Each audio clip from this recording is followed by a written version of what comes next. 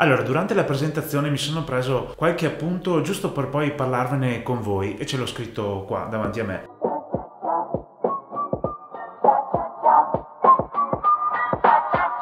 Allora, partiamo dal primo discorso, ovvero è stato presentato il Mi Mix 2S, non il 3. Naturalmente Xiaomi l'ha voluto chiamare così perché non voleva eh, in realtà porre un netto distacco da quello che era il design del Mi Mix 2 e in effetti come design si assomigliano molto. Questo sarà leggermente più curvo da su tutti e quattro i lati rispetto a quello che è il Mi Mix 2, però rimangono alla fine quei tre lati che sono eh, comunque bezel-less saranno in realtà eh, più simmetrici tra questi tre lati. Quindi la parte sopra dove c'è l'auricolare è stata leggermente ridotta e questo è un bel vantaggio dal punto di vista del design. Un altro aspetto che mi rende veramente felice è quello della mancanza del notch. Allora, non sono contro Apple, mettiamo da parte tutti questi preconcetti. Apple iPhone X mi è piaciuto tantissimo, non mi dispiace nemmeno il notch, ma sono contento che sotto questo aspetto eh, Xiaomi non sia andata a copiare Apple. Purtroppo però eh, qualcosa bisognava pur copiare, quindi hanno copiato il design della fotocamera posteriore che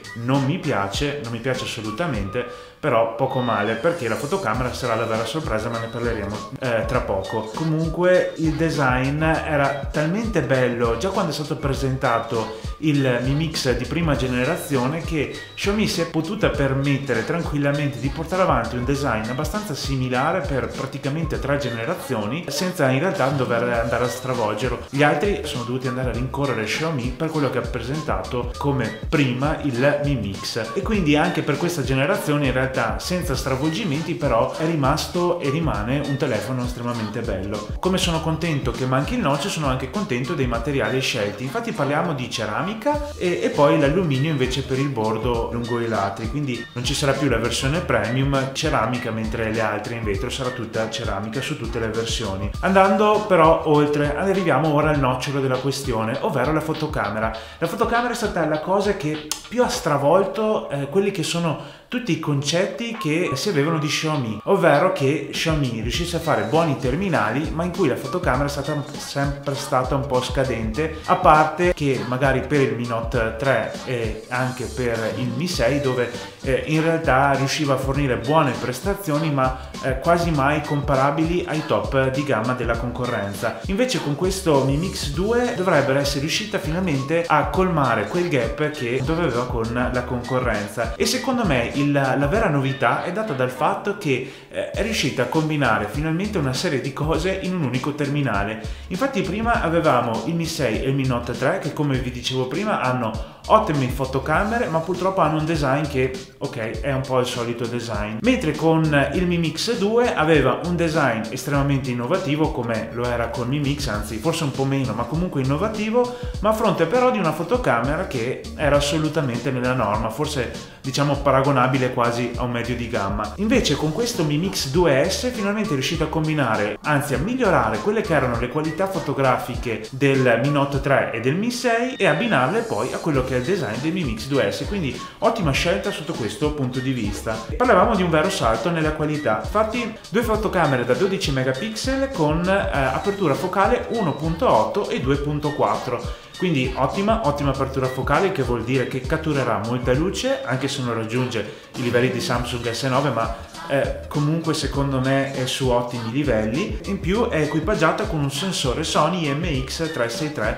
con pixel da 1,4 micron quindi eh, diciamo che è sugli standard alti che usano anche tutti gli altri. È dotato di stabilizzazione ottica su 4 assi quindi dovremmo ottenere in teoria video e foto che non sono mosse. Inoltre hanno introdotto il 2 pixel autofocus che a livello teorico dovrebbe garantire eh, degli autofocus molto molto più rapidi rispetto agli altri hanno parlato inoltre di multi-frame noise reduction per, quel, eh, per quando si effettuano foto di serie in cui vengono scattate una serie di foto in contemporanea che dovrebbero quindi garantire e permettere eh, una riduzione del rumore nelle fotografie migliore rispetto a quella che abbiamo visto fino adesso. Insomma, tante novità che eh, sarà però interessante a questo punto vedere e provare quando eh, mi arriverà settimana prossima. A parte tutte queste grandi novità e grandi presentazioni che sono state fatte per il comparto della fotocamera è stato posto un particolare attenzione e accento durante la presentazione per l'intelligenza artificiale che eh, è stata implementata da Xiaomi grazie al processore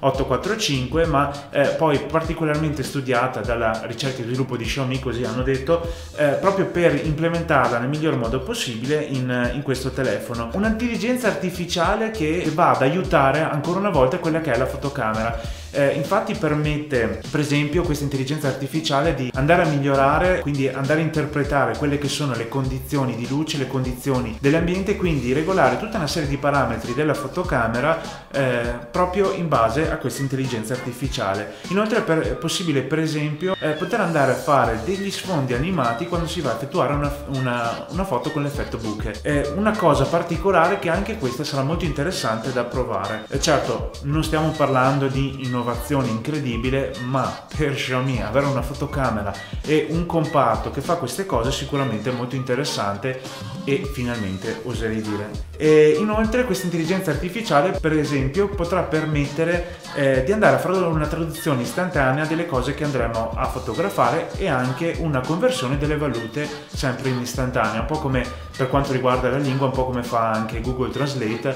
ma vedremo anche la capacità se sarà di più rispetto a quello che fa Google Translate, se lo farà meglio, come lo farà. Insomma, tutti aspetti decisamente interessanti che andremo ad analizzare. Dovremmo essere di fronte a quella che dovrebbe essere in teoria finalmente una fotocamera decisamente buona. Però qui casca un po' il pero, ovvero abbiamo parlato alla grande delle due fotocamere posteriori e la fotocamera principale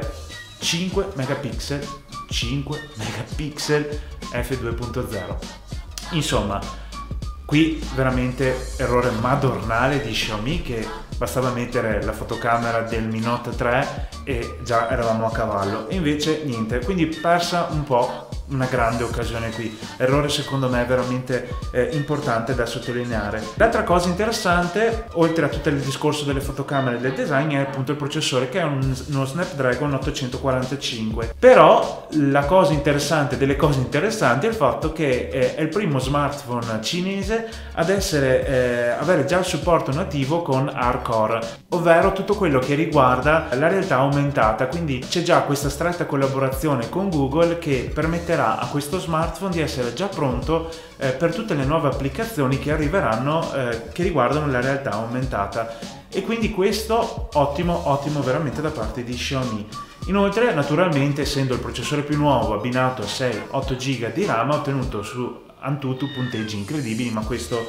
eh, era evidente, lo sappiamo, non avremo dubbi che sarà un terminale velocissimo che non dà problemi, ma ormai lo sono anche eh, un po' praticamente i medi di gamma, abbiamo scoperto con lo Snapdragon 625 che non ci servivano processori pazzeschi per vivere durante tutti i giorni. Concludo poi eh, riguardo alla pace mentale che riguarderà molti di voi, ovvero uscirà già con la banda 20, col supporto alla banda 20, quindi nessun problema con le reti europee con l'LTE, con il 4G, con Wind, eccetera. Prenderà bene ovunque, spero che prenderà bene, però comunque ha supporto nativo già anche per questo tipo di banda. Insomma, concludendo questa piccola chiacchierata tra amici, a me viene da dire che questo Xiaomi Mi Mix 2S avrebbe potuto essere molto di più di quello che è stato presentato. O meglio, Xiaomi sicuramente ha lavorato molto bene su quello che ha realizzato, ma avrebbe potuto fare molto di più. E questo lo dico anche dopo aver assistito alla presentazione del Huawei P20 e P20 Plus che sicuramente fanno un salto molto più in avanti rispetto ai loro predecessori. Detto questo però sono molto curioso di provare questo Mi Mix 2S, speriamo che mi arrivi già la settimana prossima. E voglio provarlo insieme a voi, quindi sintonizzatevi su questo canale e registratevi per poter assistere alla recensione di questo prossimo terminale. E naturalmente mi aspetto che qui sotto commentiate e dite la vostra proprio su questo smartphone e potete dire la vostra anche sul gruppo Facebook Xiaomi Club Italia. Questo è tutto e vi saluto, ciao da Daniele Pintus del canale You Can Buy, alla prossima!